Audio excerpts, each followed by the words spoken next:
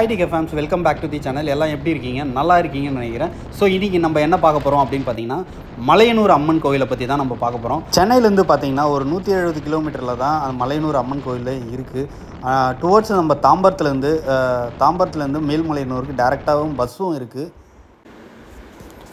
அந்த வேலை பார்த்திங்கன்னா நம்ம முனீஸ்வர் பகவானை தான் பார்த்தோம் கிட்டத்தட்ட இங் இங்கே இதுதான் ஸ்டார்டிங் பாயிண்ட்டு மலையனூர் என்ட்ரன்ஸ் ஆகிறதுக்கு முன்னாடியே வந்து இந்த முனீஸ்வர் பகவானை பார்த்துட்டு அங்கேருந்து பார்த்திங்கன்னா ஒரு அஞ்சு கிலோமீட்டரில் தான் மேல்மலையனூர் அம்மன் கோவில் இருக்குது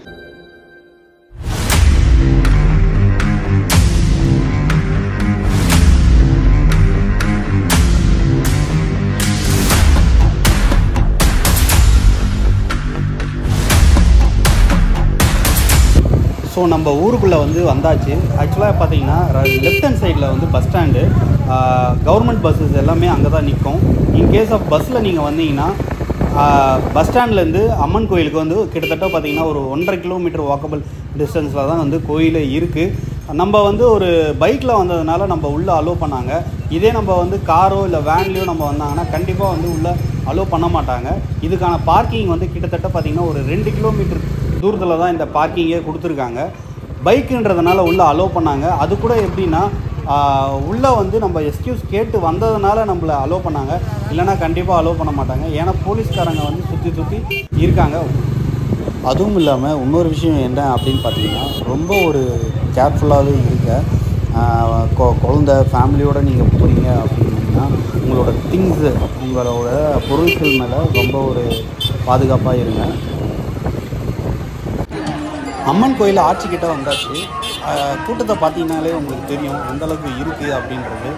அதுவும் இல்லாமல் என்ட்ரன்ஸ்லேயே வந்து பார்த்திங்கன்னா எலுமிச்சம்பழம் கிட்டத்தட்ட இங்கே கூட்டம் பார்த்திங்கன்னா ரொம்ப அதிகமாகவே இருக்குது அதுவும் இல்லாமல் இங்கே வந்து அமாவாசை அன்னைக்கு ரொம்ப விசேஷமாகவும் கிராண்டாகவும் இருக்குது இந்த இடத்துல கூட்டம் கிட்டத்தட்ட பார்த்தீங்கன்னா ஒரு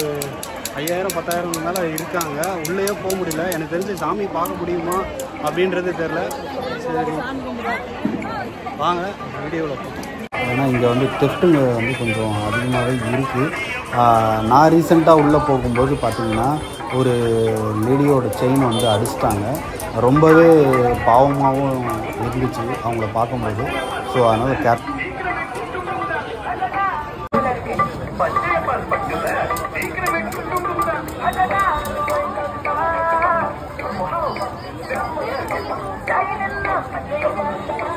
வரும் பற்றிய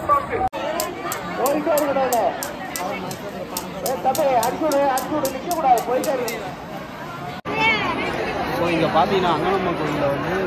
மிகப்பெரிய கூட்டமாகவும் இருக்குது அதுவும் இல்லாமல் அமாவாசை அன்னைக்கு ரொம்ப ஒரு விசேஷமாகவும் கிராண்டாகவும் பண்ணிட்டு இருக்காங்க அவங்க பேர் தான் அவங்க சரி ஓகே தேங்க்யூ